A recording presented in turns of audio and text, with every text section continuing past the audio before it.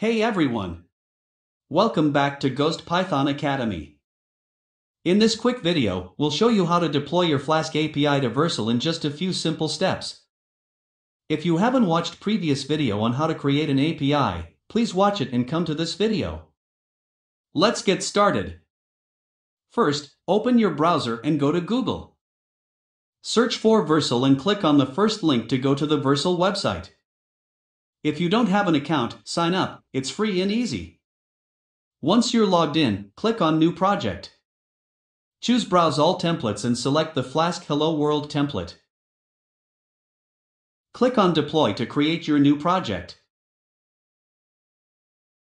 Next, you'll need to provide a name for your Git repository. This helps Vercel keep track of your project and makes it easier to manage in the future. Once you've entered the repository name, Vercel will handle the setup and deployment for you.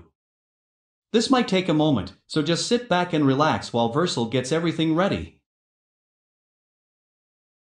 After deployment, click on the GitHub repository link provided by Vercel. This will take you to your newly created repo. In GitHub, open the requirements.txt file.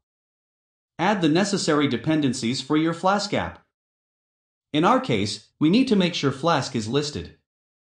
Then, navigate to the API folder and open the index.py file. Replace the existing code in index.py with our Flask API code.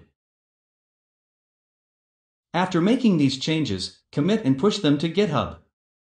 Vercel will automatically redeploy your project with the new changes. Deployment on Vercel will take some time to build and complete the process. Once the deployment is complete, you can test your API. Navigate to your Vercel deployment URL and append forward slash greet question mark name equals your name to test the endpoint. You should see the greeting message in the response. And that's it. You've successfully deployed your Flask API to Vercel. Thanks for watching and don't forget to like, share, and subscribe for more quick tutorials. See you next time.